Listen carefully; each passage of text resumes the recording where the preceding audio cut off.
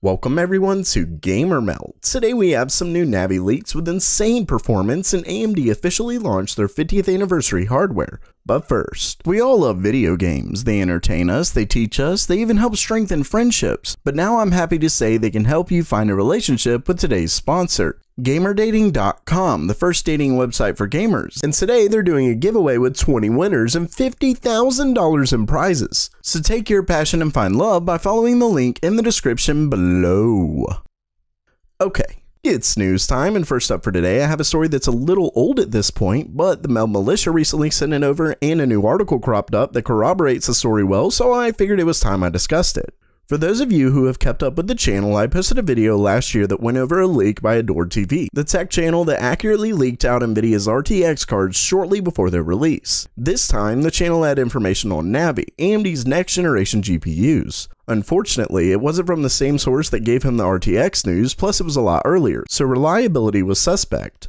Since then, Adored TV posted a video that went more in depth on the leak as well as provided us with more GPUs. And I will say that their source gave a good bit of information that's since proven more to be true, like Navi still being GCN, Arcturus not being the next gen architecture, and the newer story I'll get to in a minute. First, let's have a look at the new GPUs Adored TV shared. Last time I went over the RX 3060, 3070, and 3080. We have two new ones this time, and according to his source, these are anniversary edition chips set to launch later this year. Of course, always keep in mind that this far back, a lot of times the companies themselves don't know the final names or product specs. Instead, think of this as more or less what they're aiming for. With that said, you can see the special edition Navi 10 comes with 56 compute units and is aimed at being 15% more powerful than the 3080, which itself is 10 to 15% more powerful than Vega 64. It's set to come with a TDP of 180 watts and a price tag of $330. Then you have the special edition Navi 20 GPU, and this is where things get interesting.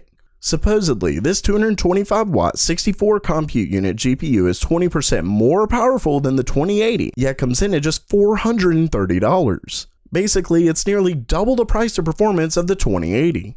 Now, while that flat out sounds too good to be true, which it very well may be, a piece of news dropped that makes it at least slightly more believable also sent to me by the Meld Militia, to which thanks again for that, and don't forget that you could join the militia by sending any leaks, rumors, or news to tip at gamermeld.com. So the story they found was a leaked image posted on the Baidu forums, of which they claim is a Navi PCB. Now, this definitely seems to be something new from AMD, and what makes this special is that it comes with traces for either 8 or 16 gigabytes of GDDR6 given it comes with a 256-bit memory bus quoted by Guru 3D with a frequency of 12 or 14 GHz, would bring it to 384 or 448 gigabytes per second of bandwidth. That's definitely not bad since AMD's GCN architecture needs all the memory bandwidth it can get. Now, this is important because while GDDR6 is more expensive than GDDR5, it's significantly less expensive than HBM2. So that, coupled with the 7nm process and the potential for a chiplet type design and something that isn't just a repurposed Instinct card, AMD could lower their costs and subsequent prices by quite a bit. Whether they can get it that low is tough to say, but we shall see.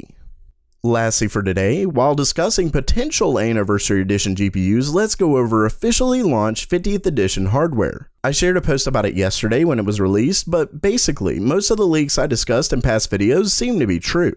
First, the 50th anniversary 2700X, which comes in a pretty sweet gold and black box, along with Lisa Su's signature engraved on the heat spreader and a coupon for a free 50th anniversary t-shirt. It also comes with the Division 2 Gold Edition and World War Z codes, but keep in mind that AMD is offering this with certain standard processors as well. So if you've been on the fence for one of these, definitely pick one up for two free games. Unfortunately, the Gold Edition 2700X does not come with better clocks or anything, but keep in mind that this is basically a collector's edition for fans of the company and is technically the same $329 MSRP as the standard 2700X, though of course, it's selling for less right now. The next anniversary tech is the 50th anniversary Radeon 7, which is basically just a red version that comes with most of the goodies in the anniversary edition 2700X. It costs the same $699 as the standard Radeon 7, so grab one while you still can. Lastly is the Gold Nitro Plus RX 590 that I covered in a previous video. Like the others, this is just a cosmetic change, but still something you may want to consider. I'll have all of these linked with affiliate links in the description below for anyone interested. So while that does it for today, how do you think Navi will be? Will it disappoint or can it do what Ryzen did for AMD CPUs? Let me know down in the comments below. And if you liked the video, definitely make sure to subscribe. And as always, have a great day.